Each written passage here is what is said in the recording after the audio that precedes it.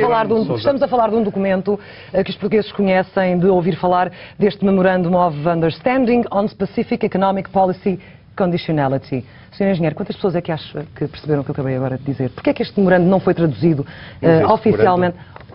Não está que está- disponível? Presumo que está disponível no Não. site do Ministério das Finanças. Esse, esse documento é Bom, público. até, até hoje, até hoje não era. Em tradução é portuguesa, público. para que os portugueses o possam Mas ler. sabe uma coisa? uh, Porquê é que isso Clara não foi Sousa, feito? O Jerónimo Sousa fez uma pergunta e eu gostaria de Não, mas eu- responder. eu- antes de avançar, eu- há, há uma questão eu que acho coloca. que há uma, é que não... uma, uma tradução portuguesa. Se a Clara Sousa não encontrou... Oficial não há. Bem, Que eu saiba. mas eu estou convencido que sim. Bem, não posso garantir se não há. uh, Mas o devia senhor haver, considera e é- que seria necessário, que deveria haver, porque os portugueses, obviamente, nem todos têm que saber Sim, eh, Clara falar inglês. vamos lá ver. Não, com certeza que não. Deve ser, uh, deve ser traduzido para português, mas eu estou convencido que essa, essa tradução existe.